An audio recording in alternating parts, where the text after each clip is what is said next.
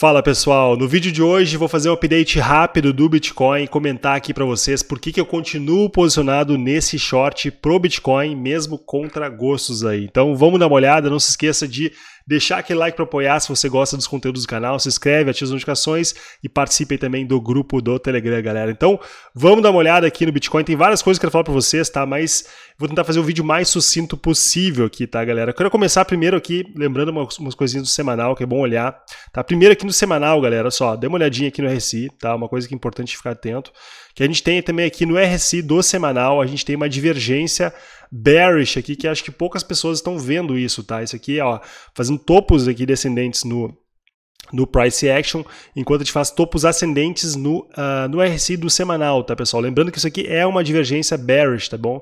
Tá aqui tá inclusive a imagem mostrando aqui, ó, fazendo topos ascendentes, o RSI com uh, do, do price action com topos aqui, ó. Até uma vez se eu consigo desenhar aqui, agora não vou conseguir, mas aqui, ó, topos ascendentes no price action, topos ascendentes no RSI. Exatamente o que está acontecendo aqui no, uh, no RSI do semanal do Bitcoin, tá, pessoal? No diário aqui, só passando para vocês também, não tem nada aqui de divergência de fato, mas o ponto que é importante lembrar aqui, que eu acho que é, que é, um, um ponto que eu considero importante, a gente não chegou nesse patamar aqui do RSI, ó, todo esse movimento que a gente fez aqui nessa subida para o Bitcoin, a gente não chegou a passar dessa zona aqui do RSI também, tá? Então é importante a gente estar aqui num limite já, numa resistência aqui temporária aqui nessa, nessa faixa. Esse é um ponto importante, tá? Aqui no diário não tem uma, uma divergência clara aqui, mas também não está muito bullish não. A gente está no mesmo patamar aqui numa resistência de novo do RSI, enquanto estamos fazendo os topos aqui ascendentes para o price action, tá? E também olhando aqui no 4 horas, vamos passar 4 horas aqui, tem algumas divergências também mostrando, ó. Temos uma certa divergência também aqui no 4 horas do, uh, do Bitcoin, tá? Obviamente não tão bonito, porque esse topo aqui deveria considerar, mas estou considerando que a gente está fazendo aqui, então, o RSI, por enquanto, fazendo aqui uma, né, uh, topos descendentes, enquanto o Price Action fazendo aqui topos ascendentes. Numa hora a gente também tem uma divergência aqui numa hora também, importante lembrar aqui, ó. Temos essa divergência aqui também numa hora, que é o momento que eu, inclusive, quando, quando, eu falo bastante no canal aqui, também no Telegram, galera, quando a gente tem divergência bullish no RSI, é o momento que eu gosto de fazer uma entrada para um long, né? Aqui no caso a gente tem uma divergência bearish, tá? Então é um momento que eu considero que vale a pena assim a gente fazer realizar um pouco de vendas aqui, né, para o Bitcoin quem não está, uh, ah, né, se você fez um long para o Bitcoin, eu acredito que essa é uma zona interessantíssima para você realizar o seu long aí, tá? Garantir que você tenha pelo menos pague seu stop loss, porque o mercado está arriscado, tá, pessoal? Não tem nada garantido. Vejo muita gente bullish com Bitcoin, tá? Eu acho que tudo bem, é, é, é faz sentido você ficar bullish. A gente um, teve um pump aí, mas tome cuidado porque esse é o momento que é bom realizar aí, tá? Quem não tá, quem tá nos longs. E no meu caso aqui nessa região, conforme eu falei pra vocês, estou buscando a minha última ordem de venda aqui nessa região dos 21.500 dólares, tá? Ela tá posicionada ainda, não pegou essa ordem aqui, tá? A ordem mais uh, a ordem aqui, eu vou distribuindo ordens nas corretoras aqui, tá, pessoal? Vou mostrar um pouquinho para vocês aqui que eu faço mais ou menos. E no caso aqui, essa ordem dos 21.500 dólares aqui não pegou, tá bom? E estou aguardando ver se vai pegar aqui agora, tá? Possivelmente vai pegar porque o, o Bitcoin está aqui com sentimento bullish, tá? Isso é um ponto importante, eu acho que tá, é um ponto que a pessoa está comentando inclusive no sobre isso, e é o risco do meu trade aqui agora, tá? Eu tenho que definir, uh, posicionar bem meu stop loss. O segredo desse meu trade aqui agora é conseguir posicionar meu stop loss bem, e vou mostrar para vocês por que eu botei na região dos 21.800, eu não mudei ainda esse stop loss aí, tá? Mas a gente tem aqui então o Open Interest uh, subindo aqui, ó, com o Long Short Ratio caindo, isso bota mais, gera mais liquidez acima, tá, galera? Mas é bom lembrar aqui que a gente já teve bastante liquidação desses dos shorts aqui, pessoal, tá? Muita liquidação, muita uh, compra mercado aqui também, tá? É um ponto que você tem que avaliar. Se você está em long, é bom avaliar de realizar pelo menos aí, tá? É, acho que é um ponto que não, não fique esperando o Bitcoin. Tá todo mundo falando que o Bitcoin vai voltar a buscar os 25 mil dólares. Vejo no grupo o pessoal comentando sobre isso. E é engraçado como o sentimento das pessoas muda assim, da água para o vinho. Né? O Bitcoin é um pumpzinho. A galera já acha que o Bitcoin vai buscar lá os 30 mil dólares, né? É, isso é, é, é, quase uma experiência social ali, o, o grupo Telegram. Aconselho você a participar e, e comentar aí também sobre isso, se você sente isso também, mas eu noto que as pessoas, quando o preço está caindo, o pessoal começa a falar, agora vai para 10 mil dólares, vai para 12 mil dólares. Subiu um pouquinho, agora tudo muda, vai para 30 mil dólares. Então, assim, é impressionante, pessoal, como né, as pessoas têm essa. É, começam a chegar um viés, enfim, vão sempre né, É, e eu, isso, isso é geralmente o motivo porque as pessoas acabam perdendo bastante dinheiro nesse mercado, tá? Mas a única coisa que tem bullish aqui agora nesse, nesse movimento, movimentação do Bitcoin é o Open Interest e o Long Short Ratio, tá? Só que contudo, pessoal, já comentei para vocês em outros vídeos sobre isso também. A gente Uh, teve isso aqui acontecendo em vários topos para o Bitcoin, tá? A gente viu isso aqui acontecendo em vários topos para o Bitcoin, a gente viu o Open subindo forte, com o long short ratio caindo. Isso para mim aqui, na verdade, seria interessante na, na, minha, na minha opinião aqui, tá com o preço numa região mais abaixo aqui, na verdade, tá? E a gente está realmente vendo um Bitcoin subindo aqui muito forte, já está querendo montar um topo aqui, tá? Então eu não sei se isso aqui vai realmente levar o Bitcoin para casa dos 25, 30 mil dólares. De qualquer forma, eu vou ter o stop bem posicionado, vou comentar aqui para você sobre isso, tá? É, vamos voltar aqui para o gráfico rapidamente, aqui mostrar para vocês alguns pontos importantes. Uh, vamos voltar para o gráfico 4 horas aqui um pouquinho mais limpo. Então a gente está aqui agora nesse canal aqui pro, Bitcoin, tá? Então por enquanto, pessoal, enquanto a gente não romper essa zona aqui, ó, dos 21.500 dólares, eu acho que fica um pouquinho complicado para cantar vitória aí para os longs, tá? Tome cuidado. E outro ponto importante também que eu acho que, que vale a pena frisar aqui é que, cara, a gente está fazendo pivô de alta aqui, certo? Fazendo pivô de alta pro Bitcoin aqui, certo? Só que assim, ó, a gente fez um pivô de alta, cara, quando a gente faz um pivô de alta, o preço tem que andar, tem que começar a andar aqui, ó, né? E o preço está simplesmente segurando nessa zona aqui, se enrolando aqui, deveria já realmente estar tá disparando para cima aqui, tá? Então isso está bem estranho na minha opinião, tá? O Bitcoin fazendo esse pivô de alta, tem gente falando que está desacoplando da SP500, galera. Tudo bem, é possível acontecer isso com o Bitcoin, pode acontecer o Bitcoin desacoplar da SP500 sair subindo, enfim. É, mas honestamente para mim parece pouco provável, tá? Eu acho que o que está aparecendo para mim aqui, galera, é uma busca de liquidez, tá? O que está aparecendo para mim isso aqui é uma busca de liquidez porque o cenário está bearish, a gente viu a reunião lá do, do Banco Central Americano falando que o cenário não está bom, tá? Então eu acho que uh, me parece isso aqui é uma, uma o Bitcoin está buscando aqui é, subir para poder é, os market makers e baleias fazerem boas vendas, né? As baleias não vão vender num fundo aqui para o Bitcoin lá embaixo, eles vão querer vender realmente no topo, né? Fazer o pessoal ficar preso nas regiões mais acima, né? Então eu acredito que essa região dos 21.500 dólares pode ser sim Aí a gente pode formar, acabar, acabar, formando um topo nessa região sim, tá, galera? Obviamente que é bom lembrar que essa região dos 21 mil, tá, já é uma região que é, é extremamente importante. Eu mostrei para vocês em outros vídeos aqui que a gente tem, então, aqui Fibonacci, essa região dos 21 mil dólares é extremamente importante. A gente teve esses dois topos aqui, ó, que é a região de 68. Se a gente ficar, conseguir montar um suporte aqui agora, né, realmente aí o Bitcoin pode dar, dar essa subida. Mas o que, que, eu vou fazer aqui agora, pessoal? Tá? O que, que eu vou fazer agora? Eu vou mostrar para vocês os pools, de liquidez, os pools de liquidez, aí fica um pouquinho mais o vídeo, tá? Segura um pouquinho que eu vou mostrar para você aqui agora. Mas a minha estratégia aqui agora é uh, né, buscar esse short até a região dos 21.500, tá? Meu stop está aqui né, acima da região dos 21.800, 20.860, se não me engano. Uh, por quê, galera? Aqui, ó. CPR mensal, região aqui dos 21.650 dólares aqui, ó, essa região da R1. Tá? Se o Bitcoin ficar acima disso aqui, romper essa região aqui, obviamente dou uma margem maior, tá, galera? Dou uma margem aí de um percentual para poder ficar tranquilo. Então, se ele ficar acima dessa região de 21.600 aqui, ó, eu vou estar tá praticamente assumindo a derrota aí nesse short, tá? Mas antes disso acontecer, não vou estar tá desistindo desse short aqui não, tá bom? Eu acho que meu, meu, meu, meu ponto de entrada está muito bom aí. É, se eu tomar esse stop aqui, não vai ser uma coisa que vai ser dolorosa, porque eu fiz bons trades aqui também, tá, galera? Para mim, o stop faz parte do trade. Quem não arriscar, quem não arrisca, né, não petisca, é dizer a questão, né, a frase, né, ao dizer. Então, para mim aqui é uma excelente uh, oportunidade, tá? Eu acho que realmente eu concordo que tá, tá aqui contra essa tendência que a gente está fazendo aqui para o Bitcoin, mas ao meu ver, galera, a gente está aqui dentro desse, desse canal aí, tá? As coisas não mudaram, a SP500 a gente não tem SP500 fazendo um pivô de alta nem nada maluco aqui, tá? Inclusive, acredito que a SP500, a, a tendência aqui dela é perder esse fundo, já comentei para vocês em outros vídeos. Então, eu continuo aí é, bearish com, com, o mercado aqui, na minha, na minha opinião, a SP500 vai perder esse fundo aqui, tá? Se a gente der uma subida aqui, na minha opinião, vai ser de fato para é, pequena subida aqui agora que a gente teve a questão do desemprego nos Estados Unidos que saiu um pouquinho melhor lá, né? É, na verdade, pior, né? Aumentou o desemprego lá nos Estados Unidos, então isso deu esse, esse pump no mercado. O mercado ficou otimista porque eles acreditam que a inflação está muito ligada também à questão do, do, uh, do emprego que está forte nos Estados Unidos. A economia está resiliente nos Estados Unidos, né?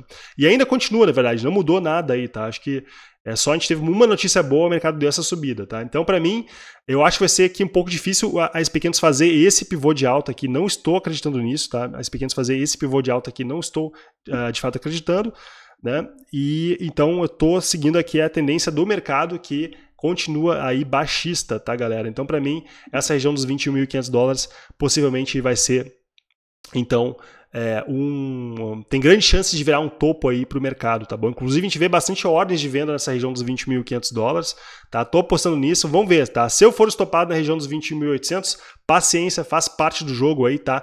Está arriscado, eu sei disso, está arriscado com isso aqui, tá? Esse é um sinal aqui de bastante risco para mim, é, mas é, vou arriscar, pessoal, tá bom? Essa aqui é a minha a minha ideia. Então eu não recomendo ninguém aí também a, a seguir simplesmente o que eu estou falando aqui, tá? Porque o André tá falando, cara, você tem que gerenciar o seu risco, de repente esse trade não é para você, não é para você, tá? Cada pessoa tem o seu, o seu, uh, uh, né, a sua forma de ver o mercado. Né? E devido a esse risco aqui, eu não estou também entrando tão pesado quanto eu gostaria realmente nesse trade aqui, tá, galera? Então esse é o ponto. Né? A gente tem que avaliar todos os fatores e saber quanto a gente vai estar entrando na nossa mão aí, pesando a mão aí no mercado, tá? Então eu vou falar aqui rapidamente sobre os pools de liquidações aqui da, da BitMEX e da Binance, também comentar aqui sobre os meus trades, mostrar algumas coisas interessantes para vocês, tá, pessoal? Não se esqueçam aí também, só para avisar que vocês deixem um like aqui no vídeo, extremamente importante, tá? Aperta o botãozinho de like aqui, ó, e também vou deixar para vocês as corretoras que uh, têm melhores bônus aqui do mercado, tá? Que você pode fazer depósito é, não tem prazo esses bônus aqui, você pode ganhar esses bônus aqui depositando. Né? Tá aqui a Bybit, BitGet Femex, tá, pessoal? Qualquer dificuldade que você tiver, pode mandar mensagem para mim no Telegram que eu vou estar tá disponível para ajudar vocês aí, tá? Cada um de vocês que tiverem dificuldade em relação a isso, beleza?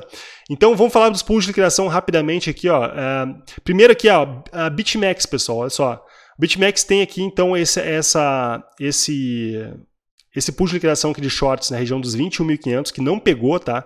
Então eu tinha botado um, um, um short aqui na, um short aqui na, na numa das corretoras nessa região dos 21.500 que não pegou, acho que foi até num, não sei qual corretora que eu botei aqui, eu uso várias corretoras, tá pessoal, eu boto ordens diferentes em corretoras diferentes, porque assim sempre tem candles diferentes que pegam ordem, não pegam, então eu tenho que botar valores ali, né, é, como eu vou, faz, vou fazendo geralmente, tá? Então, essa região dos 21.500 não pegou aqui ordem, tá? Então esse é um ponto que eu estou aqui ainda interessado a fazer essa venda aqui nos 21.500. Existe, tem chance de acontecer. Inclusive aqui só fazer um parênteses aqui rapidamente para vocês aqui ó, em relação a isso. Se a gente puxar aqui o Bitcoin nos 15 minutos, a gente está formando uma bandeirinha de alta, tá? Então tem o risco aí sim, ó.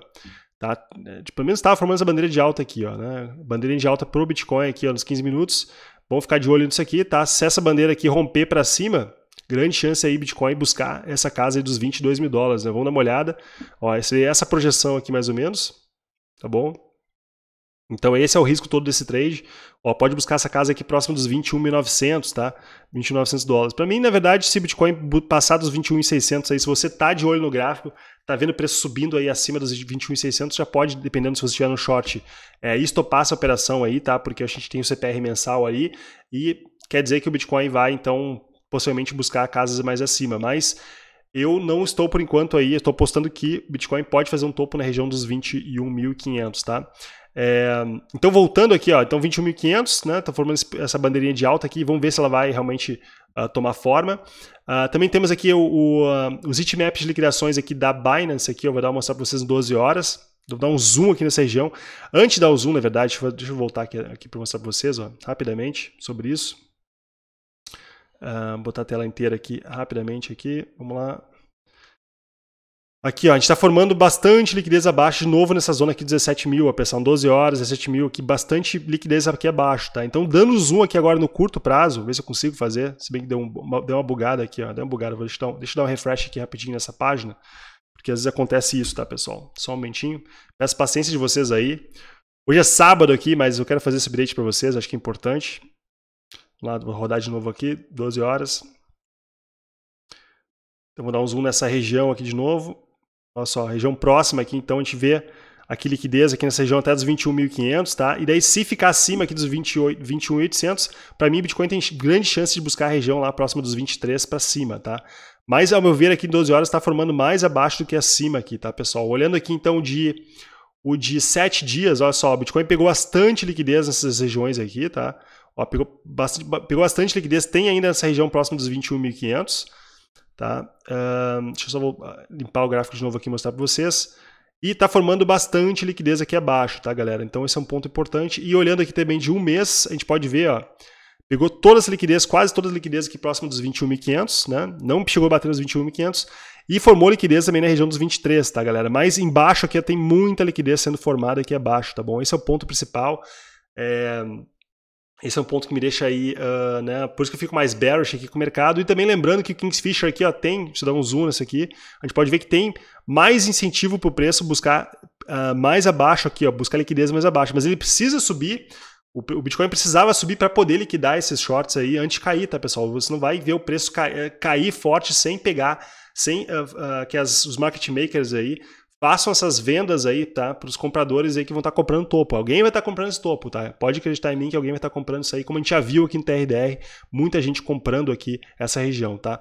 Então, ordens de venda aqui nessa região dos 21.500 aqui, isso aqui é, mostra para mim grande chance do Bitcoin segurar nessa zona aí, tá, pessoal? Então, uh, deixa eu até ver aqui como é que tá o TRDR aqui em termos de 21.500, aqui é 30, 300 milhões de dólares de venda aqui nessa região, Tá? E temos aqui também bastante compra nessa região dos 21.100 também, tá? Mas no momento aqui o, book está é, bastante vendedor na minha opinião, tá bom?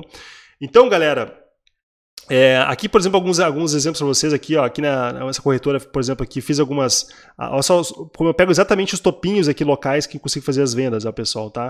Vendas locais aqui nesses topos aqui também, ó. Aqui não pegou, aqui não pegou a ordem que eu falei para vocês dos 21.500, tá? Então vou reduzindo aqui a mão, né, mas não pegou essa ordem aqui, né? Por enquanto eu tô com um PNL aqui, deixa eu dar uma olhadinha, ó, quase um 0 a 0 aqui nesse short aqui, tá? Aqui nessa corretora, aqui também na Bybit, mostrar para vocês aqui se eu consigo rapidamente. Será que vai carregar aqui que travou tudo? Só um momentinho. Então aqui na, na Bybit eu consegui fazer, por exemplo, uma venda muito boa nessa zona próxima aqui dos 21.400, ó, pessoal. Então boto minhas ordens aqui, pegou exatamente nesses topos aqui que eu fui vendo a liquidez, possível uh, oportunidade de liquidez nessa zona e consegui fazer uma boa venda também nessa região aqui, tá bom? Então basicamente isso, eu vou posicionando uh, ordens aí diferentes corretoras, porque a gente tem as candles diferentes para cada corretora, tá pessoal? Sei, às vezes acontece muito comigo de a não pegar essas ordens aí de, de, de venda, é uma corretora ou outra, então gosto de me posicionar dessa forma aí, tá? É, porque já vi muita, muita questão acontecendo de uma corretora não pegar, é outra pega, então eu gosto de fazer ordens, às vezes, mesmo, mesmos valores ali, né? uma corretora pega, outra não pega, tá? Então, basicamente o que eu tenho para vocês aqui é isso, tá, galera? É, tá arriscado pro short, eu sei disso, mas para mim aí o Bitcoin ou ele vai logo, ele deveria ir logo subir aí, me estopar, então não tem sem problema nenhum, ou ele dá, né, dá o braço a torcer aí, não tem que fazer, tá, pessoal? Eu acho que é bem possível o Bitcoin dar esse braço a torcer. Vamos ver como vai ser. Acho que domingo a gente vai ter resposta, né? De ver se domingo como vai ser aqui o DXY, né? Se vai continuar essa queda aqui. Uh, se aqui continuar, para mim o DXY não tem nada aqui, uh, digamos assim, uh, né, bearish, na minha opinião, aqui, tá, pessoal? Eu acho que, tirando essa divergência aqui também, que é uma divergência bearish aqui no 4 horas, estou vendo também, aqui, ó, fazendo topo descendente aqui, com o RSI fazendo topo ascendente, isso aqui é uma divergência bearish. Eu acho que esse é o motivo também principal do DXY tá caindo aqui, ó, tá? Que é o que a gente tem para o semanal do Bitcoin, tá? Então, me parece que o Bitcoin tem grande chance de corrigir no semanal. Amanhã a gente tem o um fechamento aí também do, do, do semanal aí pro, pro Bitcoin, tá, galera? É importantíssimo. Mas vamos ver como vai, como vai acompanhar aqui o DXY, né? Por enquanto, aqui ele está fazendo essa, na minha opinião, fazendo aqui uma cunha, tá? Essa cunha geralmente ela é uma cunha, uma cunha bullish, tá, galera? Então esse é um ponto importante. E força, reforçando para vocês aqui, acredito que é grande chance desse P500. A maior, a maior probabilidade, na minha opinião, é esse P500 não fazer esse pivô de alta. Tá? Se fizer esse pivô de alta, vou estar errado, vou ter, ter estopado essa, esse short Bitcoin. E só para fechar, para vocês comentar um ponto importante, galera, eu não estou quando eu falo fazendo short em Bitcoin, eu não estou vendendo os meus Bitcoins todos, não. Eu estou operando no futuro com capital, com uma fração pequena do meu capital, tá? Eu não estou simplesmente realizando vendas de todos os meus Bitcoins, tá? O pessoal acha que eu estou vendendo, estou vendido em tudo em Bitcoin. Não, estou realizando trades no mercado futuros, tá? Para poder acumular mais capital para comprar mais Bitcoin, tá? Essa aqui é a minha estratégia. Eu não não desacreditei do Bitcoin, tá? Fazer short não quer dizer é, não quer dizer que eu, que eu tô uh, simplesmente agora vendendo os meus bitcoins nem nada, pessoal. São sempre trades que eu estou mostrando para vocês aqui agora para acumular dólares, né? É, ou Bitcoin, enfim, para comprar Bitcoin mais barato. Então, os ganhos que eu tenho com esses, com esses trades que eu faço, eu boto ordens de compra no spot para acumular mais Bitcoin em regiões que eu tô, que eu, que eu tô né, uh, que eu acho que são interessantes. Né? Inclusive, essas, essas regiões que eu estou interessado são regiões que a gente tem muita liquidação para o Bitcoin, é onde vou estar tá comprando com certeza aí tá? Acumulando Bitcoin pro longo prazo, tá bom, pessoal? Então, no mais é isso. Espero que você tenha gostado aí do vídeo. Se você gostou desse update, vai lá, deixa esse like aí, participe também aqui do grupo do Telegram, links aqui abaixo. Vou deixar aqui comprar também na Bybit, tá dando bônus aí, tá, pessoal? Dá uma olhadinha nas corretoras, você vai gostar. Qualquer dificuldade, pode mandar mensagem para mim no Telegram, tá bom? Um bom final de semana, um abraço.